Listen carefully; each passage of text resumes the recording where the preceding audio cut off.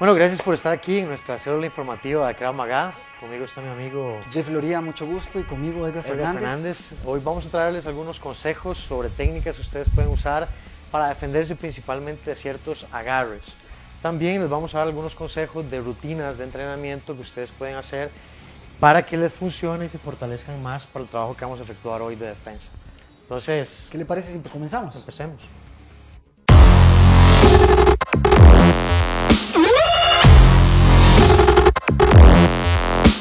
Para calentar podemos hacer jumping de lado. Eso es un ejercicio muy fácil de hacer, se requiere poco espacio y es muy bueno para la condición física, principalmente para nuestra respiración y coordinación. Como un trabajo de fortalecimiento físico podemos trabajar con peso. Este peso podemos hacerlo con pesas tradicionales o si en la casa no tenemos otro tipo de equipo podemos usar un bulto lleno con libros, víveres o cualquier cosa que nos genere más peso. Las flexiones y el empuje hacia arriba son importantes ya que son muy utilizados en el combate.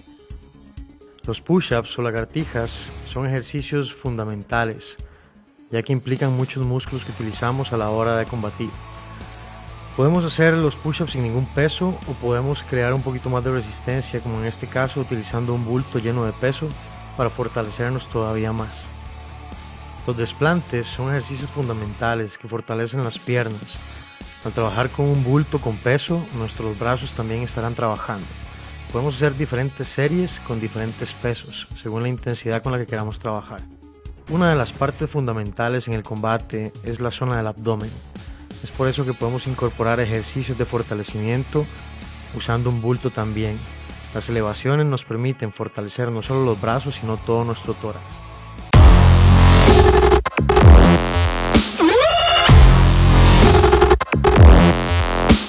Aquí podemos ver en forma real una defensa contra un agarre de cabeza. En esta técnica podemos ver cómo el agresor lo que hace es que agarra fuertemente a la persona del cuello y la cabeza poniéndolo en una forma sumisa. Lo que es levantar a la persona y estrellarla contra el suelo para poder liberarse. Aquí podemos ver en tiempo real una variante del mismo agarre de cuello con una defensa en el piso. En esta técnica podemos ver cómo el agresor de la misma forma agarra a la persona y la somete agarrándola del cuello. Si no podemos levantar al agresor, lo que podemos hacer es pasar una de nuestras piernas por detrás para hacerle perder el equilibrio y ganar una mejor postura desde donde podemos atacar encima de él. Aquí podemos ver la misma agresión, solo que esta vez la persona puede defenderse simplemente golpeando, poniendo a la persona contra el piso y ganando control de la misma.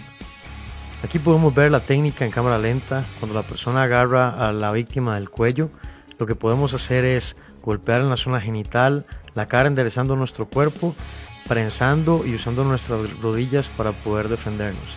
Seguido podemos estrellar a la persona contra el suelo y ganar control de ella con una técnica de arrest. Bueno, como hemos visto, hicimos las técnicas de la semana. Bueno, sí, hoy lo que estábamos haciendo era principalmente un agarre así eh, agresivo en la cabeza. A veces la gente lo usa para que otra persona me robe o para simplemente Golpearme, pegarme. Algo que hicimos una demostración que es una de las cosas que no deberíamos estar haciendo es estar descuidados con el celular. Eso es uno de, las- de- de- de los factores principales De las mayores desventajas que tenemos. que en la hace que la gente, digamos, aproveche de eso. Entonces yo tengo que estar siempre atento a mi alrededor, poner atención, cuidar mi espalda y no quedarme ahí pegado, ¿verdad? En, en la chupeta Por supuesto, del por teléfono. supuesto. Nuestra mayor defensa es estar siempre Alertas. alertas. Entonces, bueno, ahí también queremos recordarles que tenemos nuestro podcast que pueden escuchar y pueden ver a, a través de, de este mismo medio. O por y, nuestras redes sociales también. y que por favor nos sigan en nuestras redes sociales. Krav Maga Costa Rica, pueden buscarnos en Facebook, en Instagram, Tumblr, YouTube. Flickr. Pueden seguirnos en nuestro canal de YouTube, por favor suscribirse eh, y visitar nuestro sitio web, kravmagacostarrica.com o visitarnos en nuestro centro de entrenamiento en Sabanilla, frente a las bodegas, eh, frente a la Cruz Roja al- a 100 metros del parque. Ahí los esperamos lunes, miércoles y viernes. Tenemos clases online, presenciales, por tutorías, por correo, Y por carta. Muchas situaciones y muchas maneras de poder siempre analizar una defensa.